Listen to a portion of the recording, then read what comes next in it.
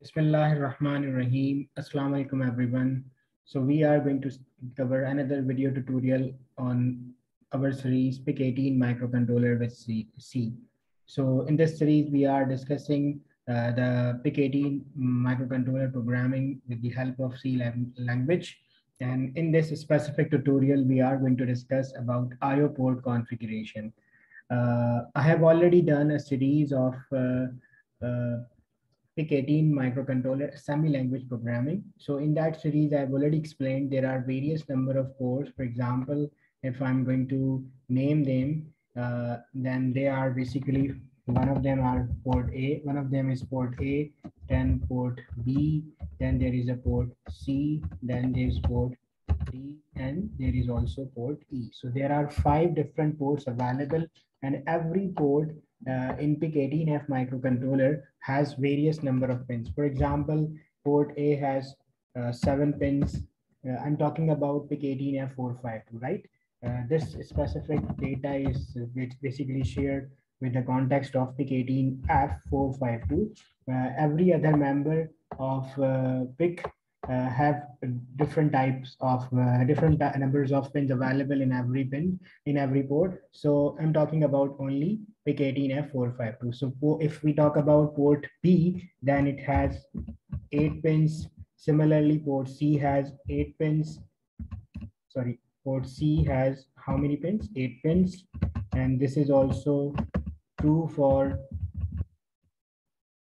port D so if I'm going to write, these are number of pins. And similarly, port 3 has only three pins.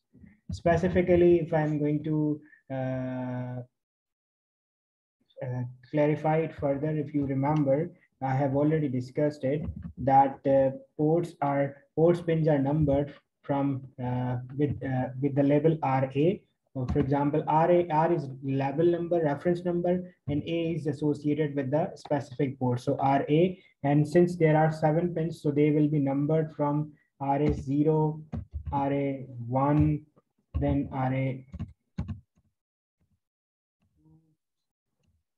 and so on. The last number would be what? RA7. Similarly, this is also true for what? True for uh, port B.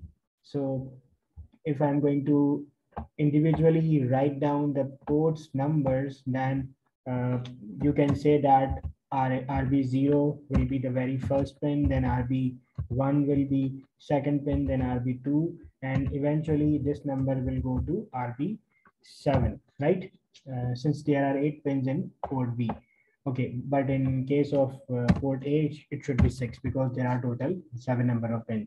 So this is also true for port C, port D. And if I'm going to write about port uh, E, then there are only three pins. So RE0 will be very first pin, then RE, uh, RE1 will be second pin, and RE2 will be the third pin. So these are only three pins available in port E. So the, there are five ports and each port have different pins available. So these pins are uh, serving the purpose for the communication of microcontroller with the outer world, right? So with these pins, microcontroller connects itself with the outer world. It can receive data from several external connections, uh, or it can also send the data to several other connections.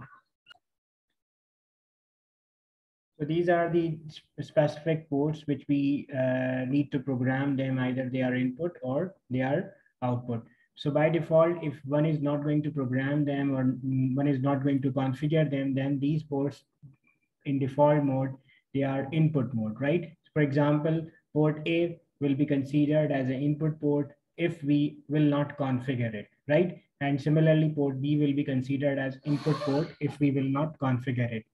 One can easily configure it and convert that mode to output mode. How? You can simply use a control register, which, which is known as what TRIS. So every port has uh, associated register, control register, which is known as TRIS. For example, for port A, there is a TRIS A. Similarly, for port B, there is a TRIS B. Then there is a port uh, register TRIS C, and so on, right? So what one need to do for example, I'm interested in port B configuration, right? port B configuration. So, and I want to make this port what output port. So if I'm interested to make port B as an output port, what I have to do in assembly language, uh, what we have to do, this TRIS B register, which is a control register for port B. What I have to do, I have to make it complete zero. Or in other words, if I'm going to explain you that there are how many eight bits available. So every eight bits should be what zero uh, zeros, right? For example, uh, we know that there are eight bits. So if I'm going to talk about uh, uh, the logical status of every individual bit, then first bit should be zero, the other bit should be zero, the other bit should be zero. So these are four bits. In hexadecimal, this will become or this will lead towards one zero. And similarly, the last or least significant four bit should also be zero. So in these are binary status of the bits that should be configuring the port B as an output port. Or if you want to convert this binary data into hexadecimal, then it will become zero zero. Or simply one can also write what uh, zero zero hex, right? So if I'm going to simply write this thing, TRIS B equals to zero zero 0x 0 0 semicolon. So that means I'm going to declare or I'm defining it uh, port B as a output port. I can also encircle it. For example, this is the this is the C language instruction, which will define port B as an output port, right?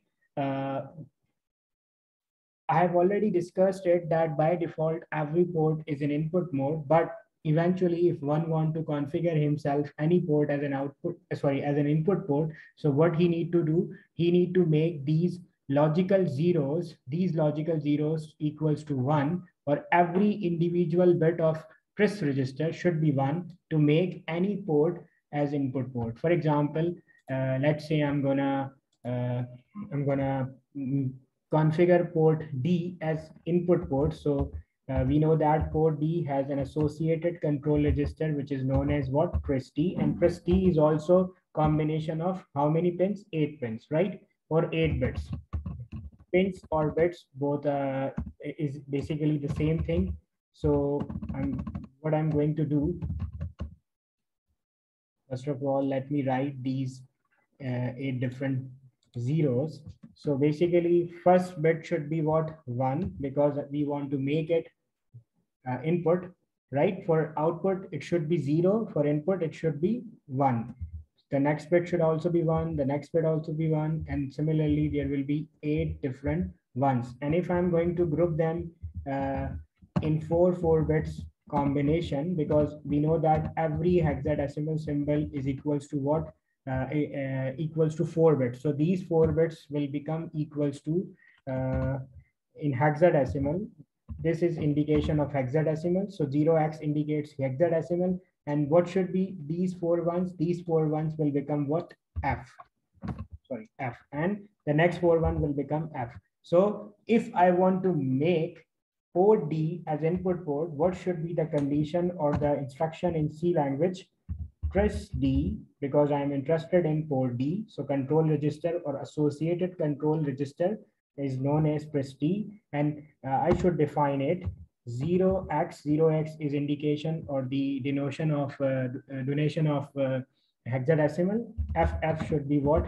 The value of it. So that means this is the this that's it. This is the line. So uh, if i'm going to encircle the line this line or this statement in c language is basically declaring any port as, sorry, port D as input port, right? So these are the two different possible uh, modes or possible configuration by which you can make any port either input or output, right? So this is the case for, for example, let me just, uh.